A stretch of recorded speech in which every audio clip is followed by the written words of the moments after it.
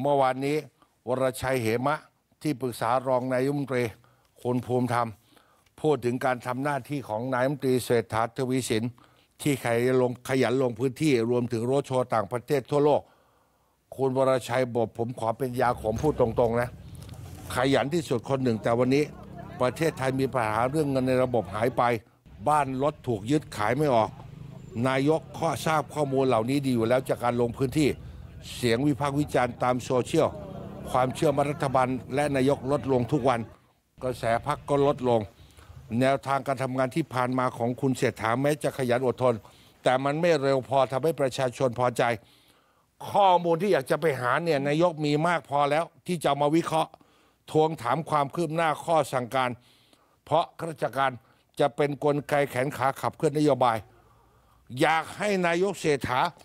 แบ่งเวลาจากการลงพื้นที่ มานั่งทำงานที่ทำเนียบ เรียกข้าราชการมารายงานความคืบหน้านโยบาย ไม่ใช่ตะบี้ตะบานลงพื้นที่แล้วไม่เหลียวแลไม่ไม่เหลียวแลง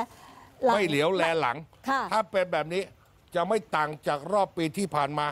เพราะประชาชนต้องการผลสำเร็จจากนโยบาย ถึงเวลานายกต้องเร่งขันน็อต ไม่ใช่สั่งแล้วสั่งเลยอาลดการลงพื้นที่กลับมาสั่งการที่ทำเนียบรัฐบาลขันน็อตข้าราชการหน่อย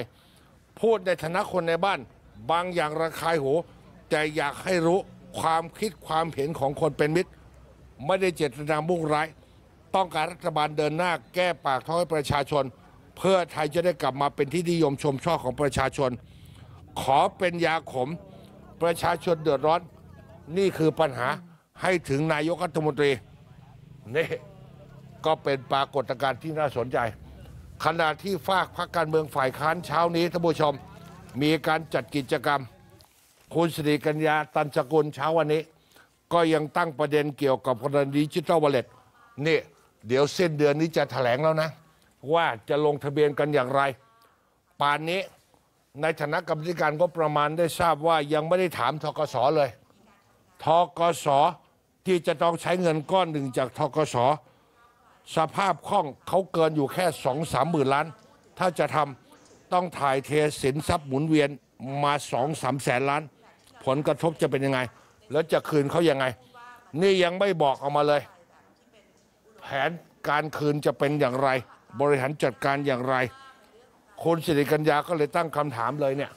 ว่าเอ้านี่เส้นเดือนนี้จะเริ่มแถลงวันลงทะเบียน ไตรมาสสี่จะเริ่มใช้ทำไมวันนี้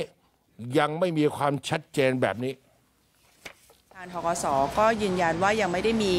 การพูดคุยขอมติในบอร์ดของทกสรวมไปถึง ยังไม่ได้มีการส่งรายละเอียดเพิ่มเติม แสดงว่ายังไม่ได้มีการส่งให้